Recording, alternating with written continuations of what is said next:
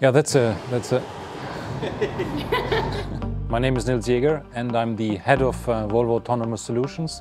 One of the real world challenges we face is a shortage of drivers and that is of course an important one for us to address. But if you reflect a bit, then we actually realize that we have a shortage of skilled workers, skilled labor, skilled employees in many areas around the globe, in almost all industry and for all kinds of services. And of course, very much so in our industry, the transportation industry. Parallel, we witness changes in society, in our behavior, in our purchase pattern. We buy online and we want and expect a very fast delivery to our doorstep.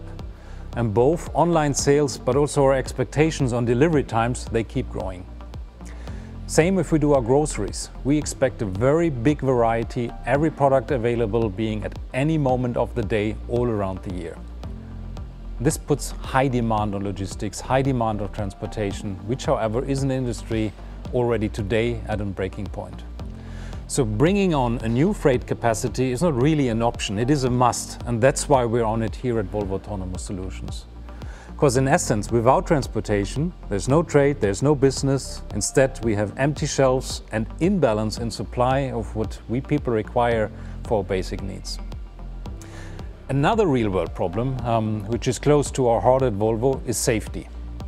And it is a problem we at Volvo have always seen as a great challenge. We've looked at it as an opportunity. And not without reason are we the ones who have invented the safety belt. But still today, we face many accidents and mortalities in work sites and on public road. So it becomes a real-world defined purpose for us to improve safety.